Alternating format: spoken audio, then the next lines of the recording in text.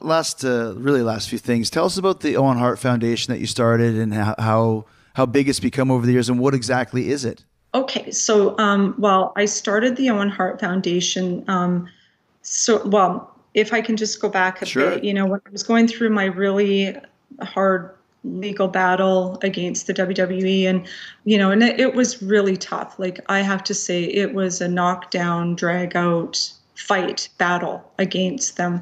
Um, you know, and a lot of people might not realize this, but they actually sued me for breach of Owen's contract. Um, and and I do talk about this in the episode. I, I wish we could have gotten into it a little bit deeper, but they How could they sue you for breaching his contract? well, it was the craziest thing because they had in their contract that you know you could only sue them in Connecticut. But I I wasn't suing them about Owen's contract. It was something totally different. But you know, through that process of the lawsuit, they were trying everything and anything to muddy the waters or just intimidate me. Um, and so they were just kind of throwing everything at me, you know, and that was also part and parcel of like sort of um, manipulating Owen's family and muddying the waters and just drawing it out, you know, because th- this was a company, they have deep pockets and they could pay lawyers forever to keep this case just, you know, going and going.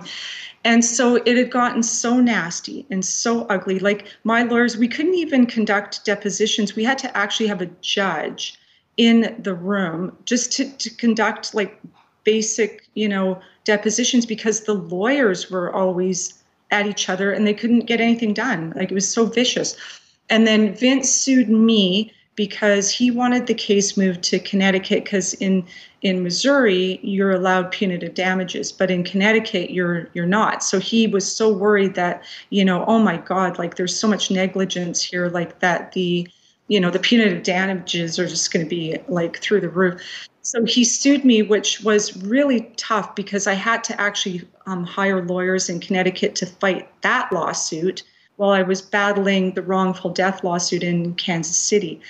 And then with the family, you know, um, working against me, and, and everything was such a mess. It was just so discouraging and awful. And so then, you know, we had. Um, we'd wanted to stop the delay of like the you know they were delaying delaying delaying. And so then my lawyers said listen if we put a number on the table they won't accept it but then what happens is the interest starts running on that number and that will prompt them to speed up the lawsuit. They'll stop delaying. So it was a tactic. So then we put this number on the table that you know again like i didn't want them to accept because i wanted this to go to trial. I wanted accountability. I wanted justice. Right. and then we got to the last day where they had the chance to accept it. And then i said to my lawyers like i, I kind of panicked. And then i phoned my lawyer and i said like oh my god like i never thought about the possibility. What if they accept it? Then where's my justice? Like i don't get my day in court. And and then she said something to me that just sort of like it was like a bomb dropped. And she said, Well, you know, like at the end of the day, like all it's going to come down to is money. That's all this is going to, and no one's going to jail. No one's, mm-hmm. you know. Right. And I just, I'd never thought about it, you know, because all I was just so hell bent on was getting justice. And then when she said that, it was, it was crushing to me to think like, this is just going to be about money in the end and then then it just kind of came to me like a flash of light and i was like you know what? Then i'm going to make my own justice. And what i'm going to do is no matter how this thing ends i am going to start the owen hart foundation. And so it was just like this insight that was just instant that and then it was just like it uplifted me. And then i was like i don't care now how this ends because i know what i'm doing with it hmm. after it's and then you know that's and that's sort of how like my evolution of thought process got me to the point where i could settle the case because before I, I, I looked at settlement like failure you know? It was like i don't want that. I want to be in court and i want accountability. But then when i realized i wasn't really going to get the justice that i was looking for legally so i was going to create my own justice.